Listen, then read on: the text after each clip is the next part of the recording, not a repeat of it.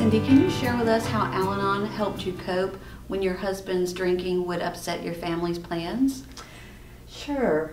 It seemed like my family plans were often upset. I couldn't really count on being able to plan anything. We had tickets to a concert one night, and I came home and he was drunk, and we couldn't go.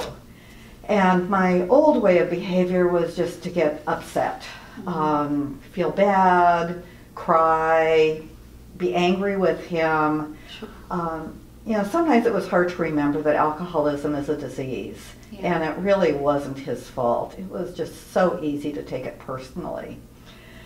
So with Al Anon, I learned not to just have a plan A, that it was also good to have a plan B or a plan C or maybe even a plan D. Mm-hmm. So if I had tickets to something, I could ask him to go, but I could have a backup. And people in Al Anon understood. They understood what I was going through, and they understood that I couldn't really count on him to be able to go to things with me. Sure. And so um, I could call them last minute if he couldn't go. Um, sometimes I also learned to just do things on my own. Um, that was almost a way of a detachment for me. It would still get me out of the house.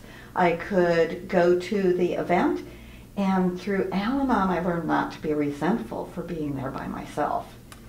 And by the time I got home, he was often in bed, and I had a nice, quiet, serene house. So life was, it, it helped. Thank you for sharing with us, Cindy. You're welcome.